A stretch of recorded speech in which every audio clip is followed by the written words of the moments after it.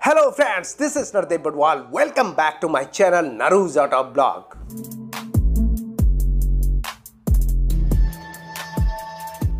Video start करने से पहले आप लोगों से छोटी सी रिक्वेस्ट है प्लीज़ सब्सक्राइब कीजिए मेरे चैनल नरू जॉटा ब्लॉग को साथ में बेल आइकन का भी बटन दबा दीजिए ताकि मेरी आने वाली हर वीडियो की नोटिफिकेशन आप तक पहले पहुँचे दोस्तों, आज मैं करने वाला हूँ complete comparison between Tata punch accomplished versus accomplished diesel pack की। सो बने रहे मेरे साथ वीडियो के अंत तक।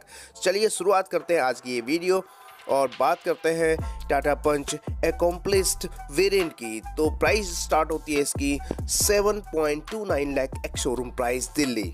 और ये है अकॉम्प्लिस वेरिएंट की फ्रंट प्रोफ़ाइल फ्रंट प्रोफ़ाइल क्या क्या फीचर्स आपको देखने को मिलता है? हेडलैम्प यूनिट की अगर हम बात करें तो सबसे ऊपर आपको यहाँ पे LED day time running light की जगह दिया गया है। हेलोजन बल्ब और जस्ट उसके एडजस्टेंट टोन इंडिकेटर की कॉम्बिनेशन ह्यूमैनिटी लाइन दिया गया है। क्रोम फिनिश में हेडलाइट यूनिट में आपको हेलोजन बल्ब प्रोवाइड किया गया। नीचे फॉग लैम्प भी हेलोजन बल्ब के साथ प्रोवाइड किया गया है। Front grille piano black finish में बीच में टाटा का लोगो और जस्ट उसके एडजस्टेंट ट्रायरो सेप डिज़ाइन दिया गया है।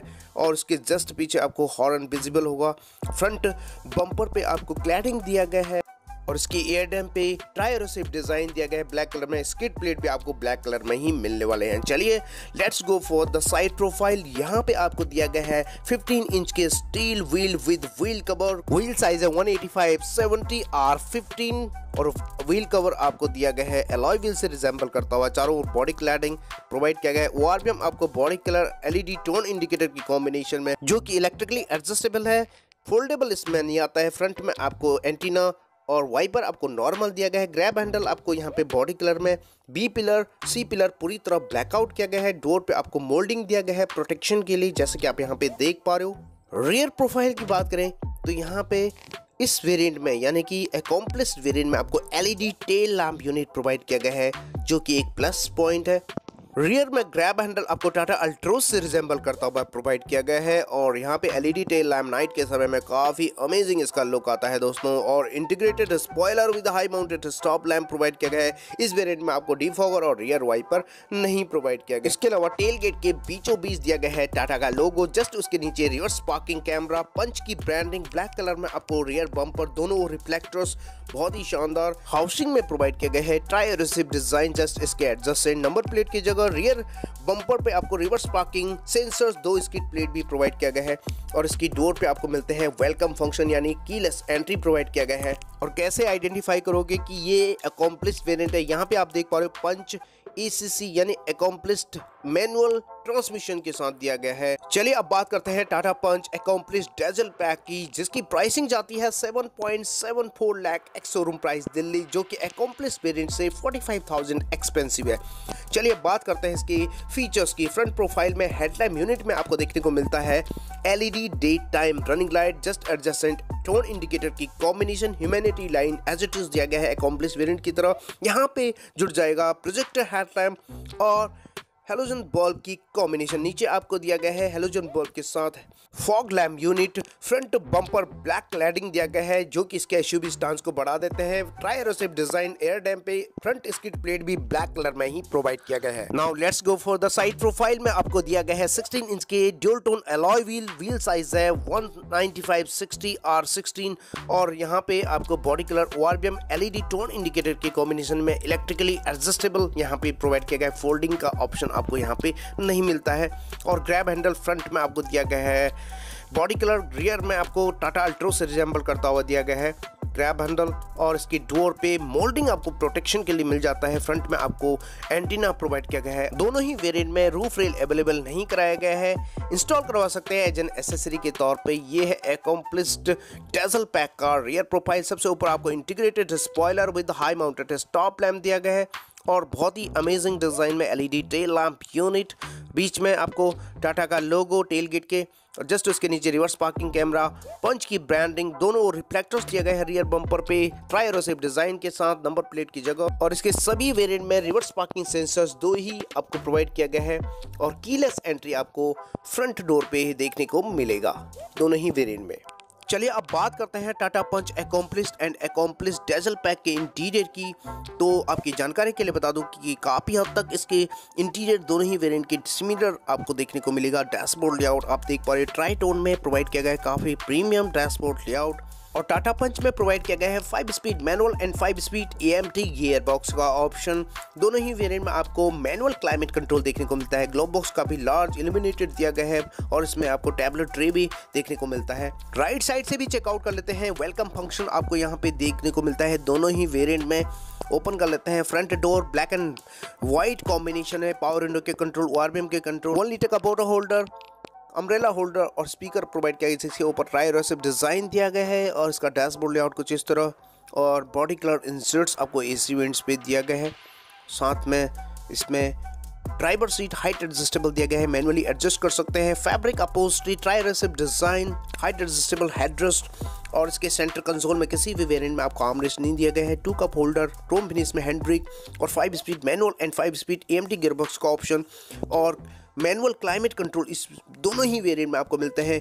सेंटर कंसोल में floating touch screen infotainment system provide किया गया है, जो कि सपोर्ट करता है Apple CarPlay Android auto Bluetooth connectivity navigation radio FM aux and USB को।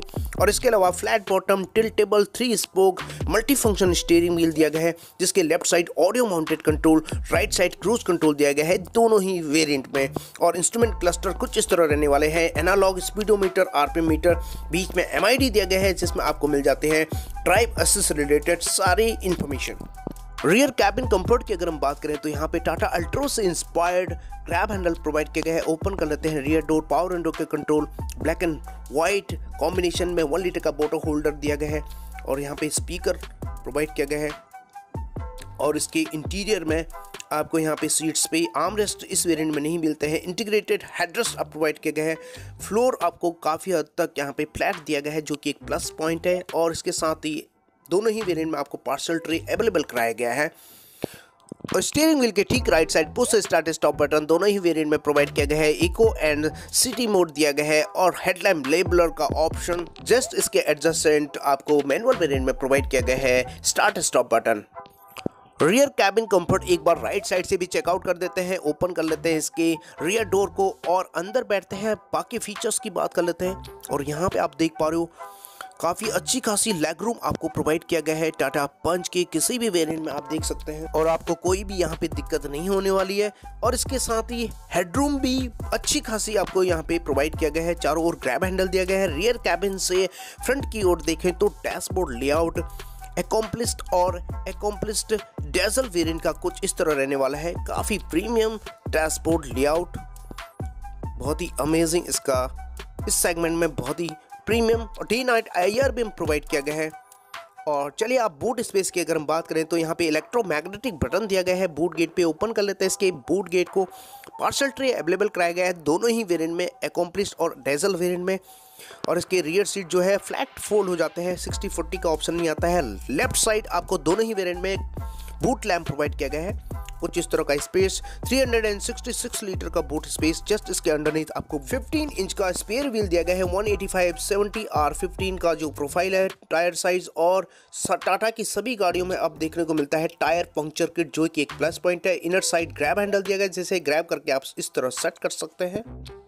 टाटा पंच में प्रोवाइड किया गया है B S six compliant one point two litre three cylinder naturally aspirated Dynapro petrol engine वहीं 86 पी की power and one hundred and thirteen N M का peak torque generate करता है। ट्रांसमिशन आपको मिलते हैं five speed manual and M T gear box का option जहाँ तक सेफ्टी फीचर्स की बात करें तो आपकी जानकारी के लिए बता दूँ कि टाटा पंच को recently global NCAP crash test में पूरे फाइव स्टार की रेटिंग मिली है जिससे यह बन चुकी है इंडिया की सबसे सेफेस्ट मिनी एसयूवी इसके अलावा Tata punch accomplished and accomplished dazzle pack में आपको प्रोवाइड किया गया है dual airbag ABS with EBD reverse parking sensors reverse parking camera seat belt reminder driver side and को passenger side, push start stop button, keyless entry, day night IRBM, isopic child seat anchorage, pretensioner and force limiter seat belt, engine immobilizer, front impact beam, side impact beam, anti-theft device, speed alert system, tire puncture kit, brake sway control, follow me home headlamp unit door ajar warning जैसे premium safety features provide किए गए हैं।